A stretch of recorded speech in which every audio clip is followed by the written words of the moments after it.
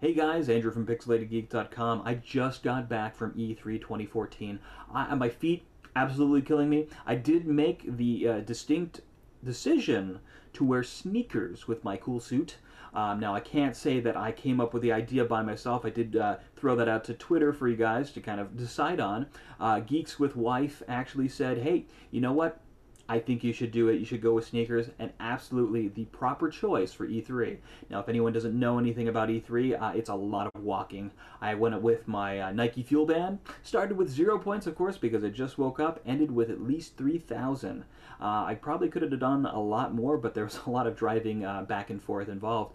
Um, so, anyways, uh, hit up Nintendo right away because that, well, uh, as I was driving up, I wasn't able to see the Nintendo conference, but our staff members were doing a live stream of it, and my phone was going off saying, Andrew, you need to get to Nintendo first. Hit up, try to find Star Fox. That was one of the things they talked about. But the other thing, well, you know, I'm wearing the lanyard. Let's just jump right in. I got some hands on time with Super Smash Bros. Wii U.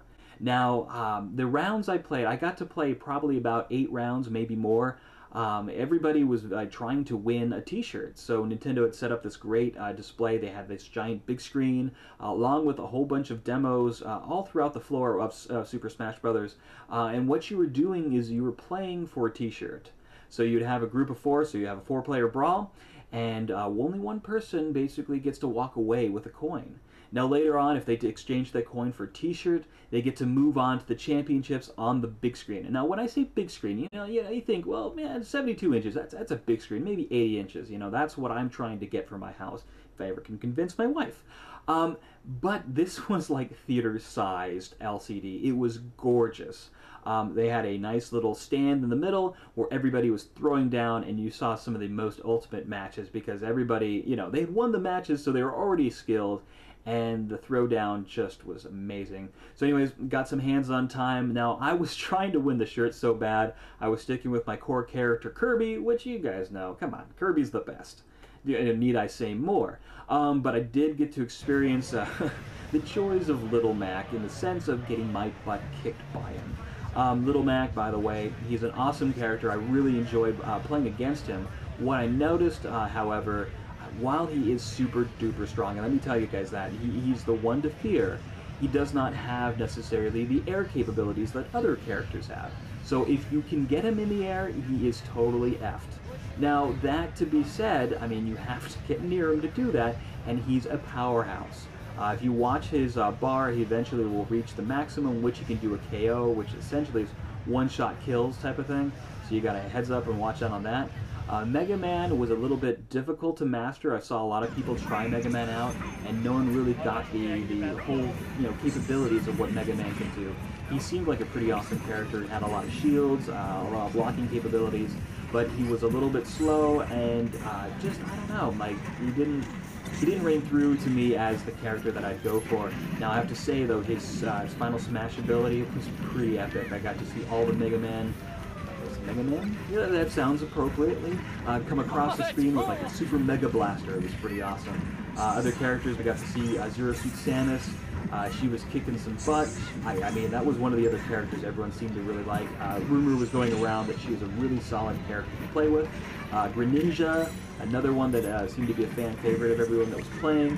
Uh, definitely, you know, he, he could hold his own, but it wasn't uh, dominating the matches. I mean, it, it, really threw down, like, everybody picked Marth, and they wanted to get a t-shirt. Um, so basically, with my hands-on experience, the gameplay is amazing. It's very fast-paced. It's very Super Smash Brothers. Uh, one of the biggest features, though, and this is what I love, as approaching everyone, everyone's like, oh my gosh, they have a demo of it. Uh, I really want to play it. And they're like, oh, but what controller are they going to be using? And the minute somebody said GameCube, everyone flipped out. They were very excited to see the GameCube uh, controllers back. Uh, personally, that's what I like. I was trying to play Brawl the other day uh, with the Wiimote. That didn't quite work out, and I even tried the advanced controller, which also just really threw me. Uh, it seems that you know the GameCube one is the one to stick with, uh, though I'd like to try the new advanced controller because I've heard those are really nice as well. Um, overall, though, the game is phenomenal. It plays fast. It's quick. Um, I can't wait to see like the final build of the game. We're hearing uh, rumors, uh, 32 characters. That's pretty epic. Um, it just got announced. We have uh, Pac-Man, who was that, that to me is just amazing. I, I really like the um, not just the, the character choice of Pac-Man's cool. We've seen him. Uh, we think he was in that the Tekken versus Street Fighter, which is neat. But what I really was impressed about was the style that they went with. It's old school Pac-Man. It just was just pretty awesome. Uh, another character, I forget what her name is off the top of my head right now. You guys are probably all screaming at me. She's from Kid Icarus. Uh, she's she's in there, and uh, what the breakdown we kind of saw, it seems that she might be faster than even Sonic. So uh, yeah, that's going to certainly add an interesting gameplay element.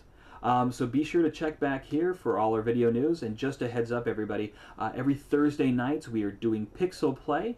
Uh, that is Thursday night at 7 p.m. PST, Pacific Standard Time. Or if you're on the East Coast, well, hey, it's at 10 p.m.